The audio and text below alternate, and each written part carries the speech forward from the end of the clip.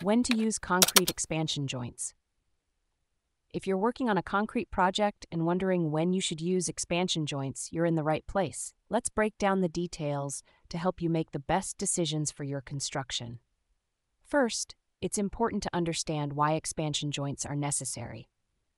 Concrete expands and contracts with temperature changes, and if this movement isn't managed, it can lead to cracks and weaken the structure. Expansion joints are small gaps that allow the concrete to move independently without inducing stress. You need expansion joints whenever the concrete meets another structure, such as a building or another slab of concrete. This is particularly important in areas like pavements, bridges, railway tracks, and even ships. These joints are usually placed at the end of the day or when the concrete pour has halted for longer than the initial setting time of the concrete. The spacing of expansion joints is critical. Generally, they should be no farther apart than two to three times the total width of the concrete in feet. For example, if you have a 4 inch thick concrete slab, the expansion joints should be no more than 8 to 12 feet apart. This spacing helps ensure that the concrete can expand and contract without straining certain parts more than others. When installing expansion joints, it's best to cut them within 12 hours after pouring the concrete. The joints should be cut as deep as at least a quarter of the thickness of the slab.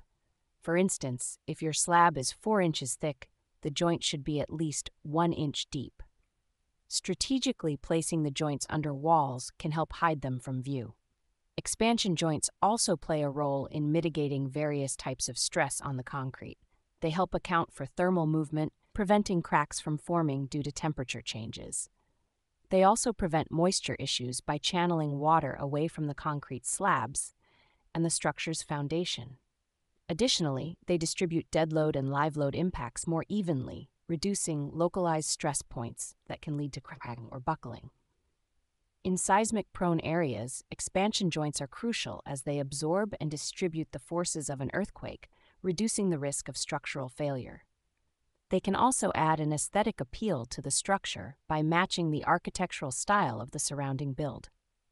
In summary, you should use expansion joints in concrete whenever the concrete meets another structure, and they should be spaced and installed according to specific guidelines to ensure the structural integrity and longevity of your project. Whether you're working on a small home renovation or a large commercial construction, expansion joints are a must to prevent cracks and maintain the health of your concrete.